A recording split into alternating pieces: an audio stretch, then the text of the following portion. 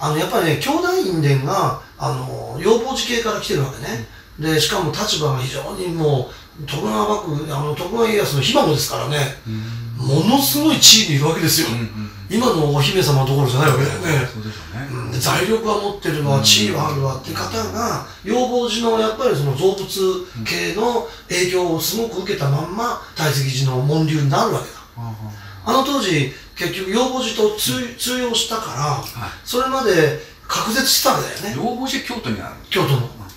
今今は日蓮宗の？日蓮本州とかって名前また変わった？単うん単立になってると身延じゃないのね？確かね単立だと思う。うん。まあいずれにせよあの召集の政権文家ではないわけよ。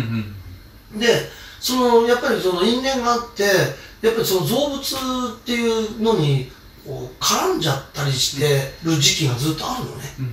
うんででその大石寺も通用をずっとこの拒絶してたわけですよ、やっぱり方々まみれだからと、ところがやっぱり情報養蜂の中でもその曼荼羅十回曼荼羅本尊が勝利であるっていう流派と、うん。それから造物してもいいんじゃねっていう流派がこう混ざ,、ってきてるこういうふうに歴史の中で。それはそうでしょうね。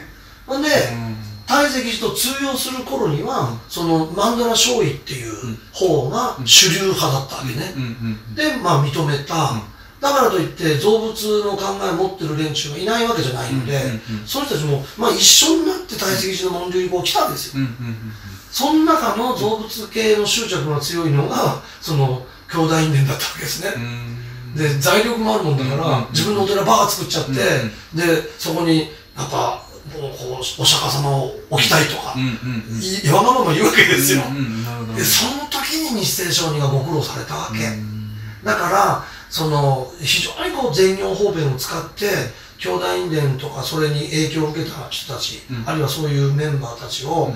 あからさまに否定しないようにしつつちょっとずつちょっとずつ曼荼羅勝利へ引っ張ろうとしている時期が、まあ、読み取れるわけですね、うん歴史上。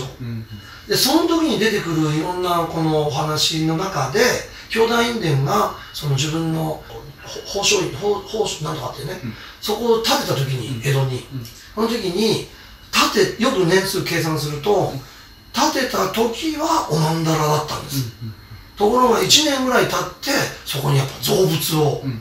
してるのね、うん。でそうそれは兄弟院伝そその時は日清商人がまだ二十何歳で、芸芸術になれないんですよ。でそこにまあ釈迦の像を建てることを、結局はそこの住職であったお若い日清商人があの当然ご承認に確認取るに決まってるじゃないですか、でそこで一応容認されたわけですよ。しょうがないと。そのともう一時のもう一時の残地の方便として、でしょうがないと。うん、でも徐々にまたこれはこう撤廃していけばいいんだと。うんっていうような流れの中でその造物を一応置いちゃった釈迦像を置いちゃったと、うんうんでこれに対してまあ州内では何やってんだって話になるじゃないですか、はいはいわはい。ーって。そうんうん。でその時にその兄弟院伝その時のの芸芸家っていうのは誰だ？えっと日清商人が二十何歳ぐらいの時だから17世かあ16世日中商人か15世日照商人ですよ。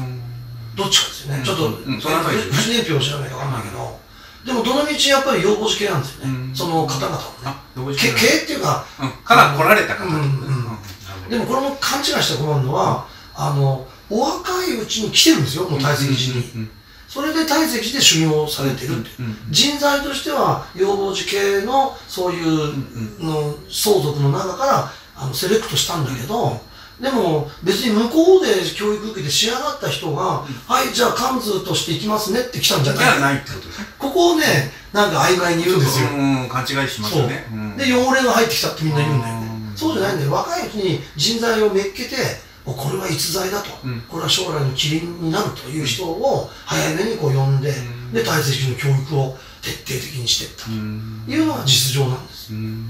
ほんでまあその時にこれはもう今日当時のまあ歴史の現場にいない人には分かんないと思うんだよね、当時の空気とか、うん。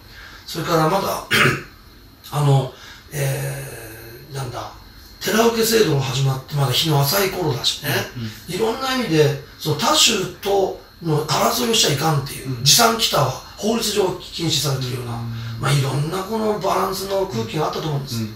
それでとりあえず、えー、宝生院は宝生宝生宝生寺だ宝生寺の造物は一応はとりあえず許しましょうってことになって、後々は撤廃されるんですよ、でその時にさその兄弟院伝をかばわなきゃならないような、いろんなこのあー空気があったとこなんだよね、うんでそこで出てきたのがあの随意論といううん論文が短いんだけどあるんです、うん。これが前半ずっと読んでいくと造物していいよっていうようなこと言ってるようにどうしても読めるんですよ。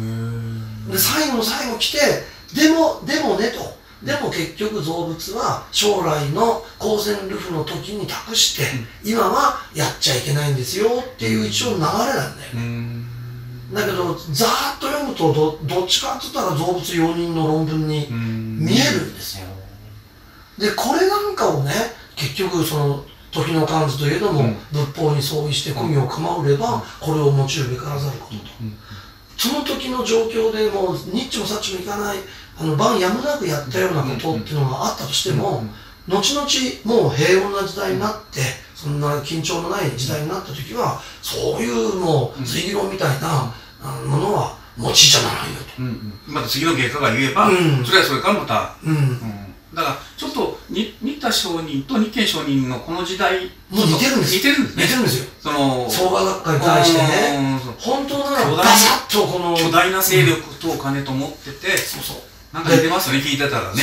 そうそう。そうなんです。俺本当そう思った。うん。だからに日清商人のご苦労とうん。日達商人のご苦労がね本当にこう似てるなって。うんですね。池田大作がどんなに方々なチックなやつでも、うんうん末端の信徒たちはみんな純粋な信心してるわけですよ、うんうん当時僕だってうん創価学会だからね、うんうんあのご自分もそうでしょだって僕たちは純粋に一年小中の信仰をうんうん。一応創価学会という庭でやったと、うんところがその中枢部がどうもいかがわしい根性を持っていたと、うんうんだから新田町にしてみればこの800万信徒をどう正しく導くか、そして首脳部のそういうその方々系なね、命をどうその全導していくかっていうことで、ものすごくこう極真されて、まああ言い方悪いけど玉虫色的なご指南もあっただろうし、そういう面ではその例えば今昇進会もそうですよ、うん。基本的には創価学会の方々を正しなさいってうん。